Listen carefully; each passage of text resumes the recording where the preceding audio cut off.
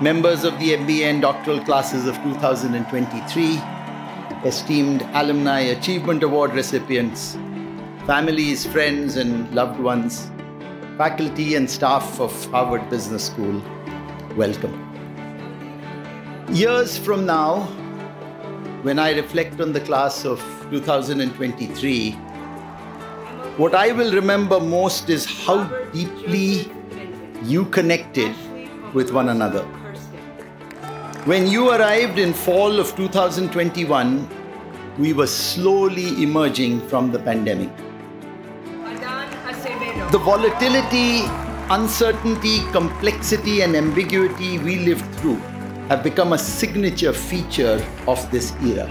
This is true in geopolitics, in the economy, and in industries. As you begin the next phase in your leadership journey, I ask you to join me in reflecting on three behaviors that I hope might be helpful to you as you go about this great task.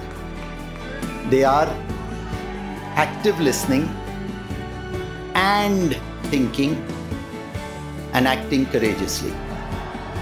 Looking around the world today, I recognize the challenges that are facing you.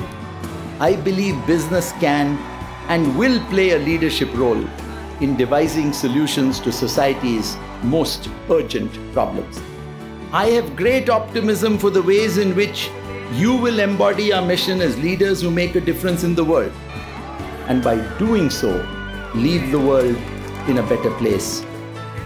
I want to return to what I said when I first welcomed you to campus in August 2021. Never lose sight of the basics. Act with integrity, empathy, and humility